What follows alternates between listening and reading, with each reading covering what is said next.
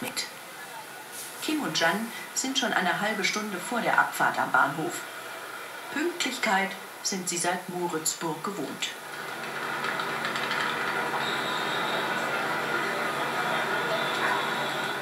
Mi und ihre Freundin kommen erst fünf Minuten vor der Abfahrt.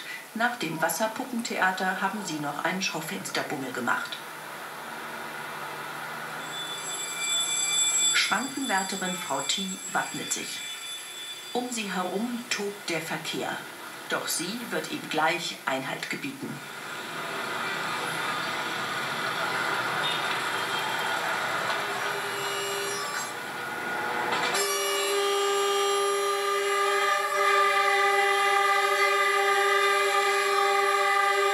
Herrn Wanns wichtigstes Instrument ist die Hupe. Ohrstöpselvertreter müsste hier ein einträgliches Gewerbe sein.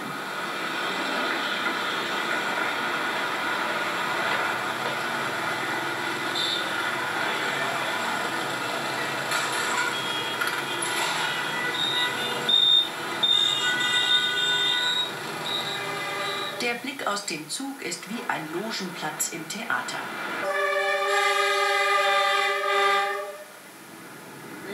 Unsere Leute sind so undiszipliniert. Ich muss ständig aufpassen. Gleich nach Ende des Kriegs habe ich als Lokführer angefangen, als Nord- und Südvietnam wieder vereinigt wurden und die Strecke wieder durchgehend befahrbar wurde. Seitdem heißt dieser Zug Wiedervereinigungsexpress.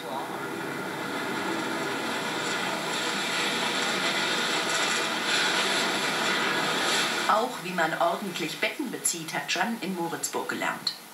Kim ist schon lange fertig und liest noch ein bisschen, während der Zug durch die Vororte von Hanoi rumpelt.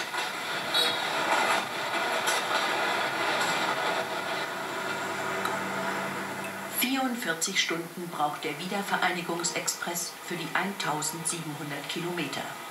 Über Hue, Da Nang und Nha Trang bis nach Saigon im Süden.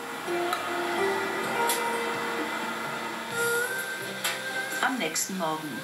Wir fahren im Schneckentempo, denn die Strecke stammt noch aus der französischen Kolonialzeit, die 1954. Seit einigen Jahren lebt Mi wieder in Vietnam und muss sich daran gewöhnen, dass hier Traditionen das Leben bestimmen. Junge Mädchen von der Familie behütet werden.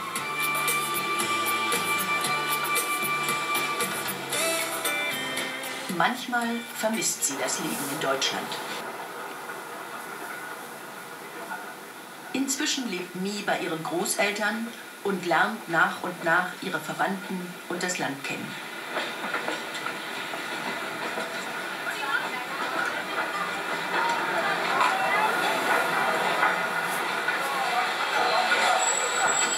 Man verhungert nicht auf einer Zugreise durch Vietnam. An jeder Station gibt es auch noch 60 Jahre nach den Franzosen genießbare Baguettes. Und wer morgens schon Reis mit höllisch scharfer Soße verdrücken will, kommt auch auf seine Kosten. Das Zugpersonal hat beste Beziehungen. Bei jedem Halt prüfen Klopfer sorgfältig die Bremsen und lauschen auf deren Geräusch. Klingen sie nicht richtig, wird der Wagen abgekoppelt. Doch alles ist in Ordnung. Der Wiedervereinigungsexpress rollt weiter in den Süden. Kim und Jan haben es sich im Restaurantwagen gemütlich gemacht. Es gibt Bauern, erklärt uns Kim, die lieben ihre Felder so, dass sie darin beerdigt werden wollen. Die Steine mitten im Reisfeld sind Grabmäler. Wir sind kurz vor Hui und werden gleich den 17. Breitengrad überqueren. Zwischen 1954 und der Wiedervereinigung 1976 war eher die Trennlinie zwischen Nord- und Süd. Die Bambusfrau verkauft selbstgemachte Teigtaschen.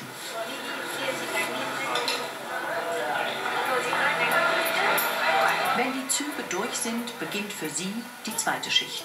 Für die Schönheiten der alten Kaiserstadt Hue hat sie jetzt keinen Blick.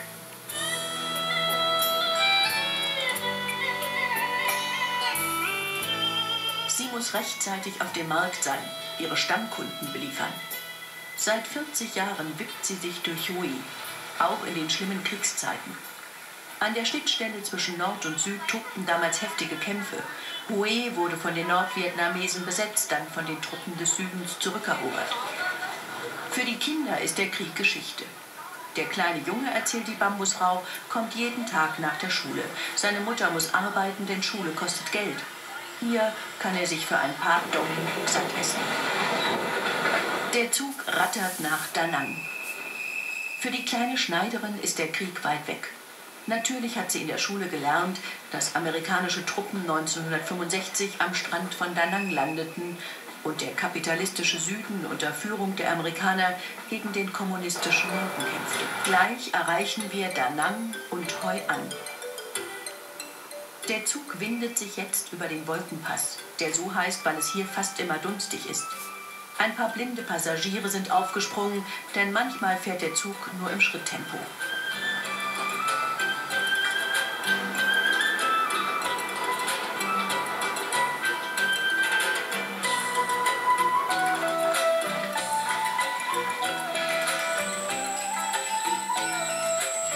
Als wir in Danang einlaufen, ruft Schneiderin Ling gleich ihre Chefin an. Ja, alles hat gut geklappt, ich bin pünktlich zurück.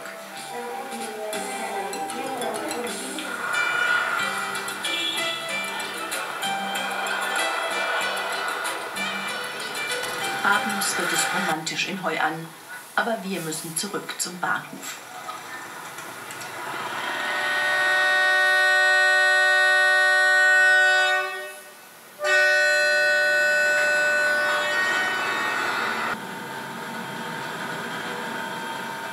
Inzwischen ist ein neuer Lokführer eingerückt und hat Herrn Wann abgelöst.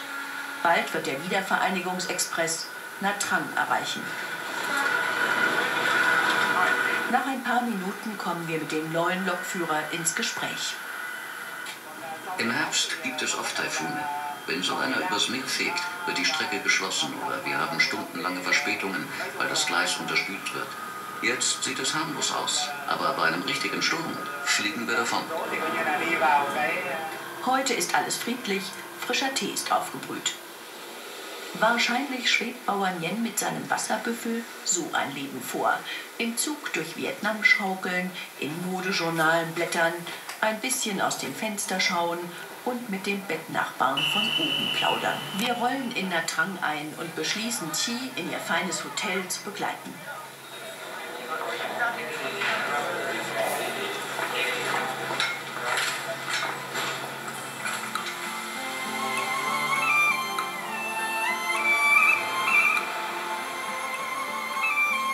Bungalows, in denen Touristen allein oder zu zweit wohnen, könnten ganze vietnamesische Großfamilien leben. Doch Chi stört das nicht. Sie arbeitet in der Wellness- und Massageabteilung und knetet gestresste Menschen aus dem Westen durch. Vietnam setzt auf Tourismus. Die Ausländer sollen Geld ins Land bringen. Die einstündige Massage kostet 50 US-Dollar. Chi verdient umgerechnet 100 im Monat. Aber neidisch ist sie nicht, im Gegenteil. Wenn mehr Touristen kommen, verdienen auch wir mehr Geld. Das ist gut für das Land und auch für uns. Ab und zu erhält sie Besuch von Herrn Wei. Auch er hat seine Kindheit in Moritzburg verbracht. Später arbeitete er als Bibliotheksdirektor von Natrang. Als Chi noch studierte, hat sie sich oft Bücher bei ihm ausgeliehen. Herr Oe ist empört, dass Chi nicht weiter studieren kann, weil in Vietnam jetzt Schul- und Studiengeld bezahlt wird. Weiter geht es von Nha Trang in den Süden. Morgen früh werden wir in Saigon sein.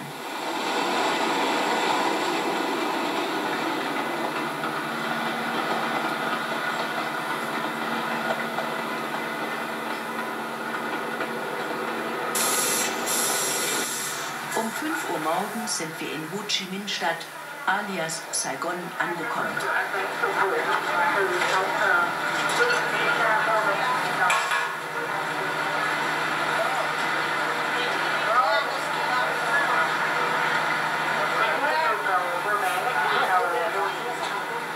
Auch Bao hat's gleich geschafft. Ich muss jetzt schnell noch die Bettwäsche einsammeln und putzen. Und dann fahre ich auch nach Hause. Saigon steht immer noch am Bahnhof. Pragmatismus auf Vietnamesisch. Das Gewusel ist lebensgefährlich, doch es herrscht friedliche Koexistenz zwischen Onkel Ho, Gucci und Pucci.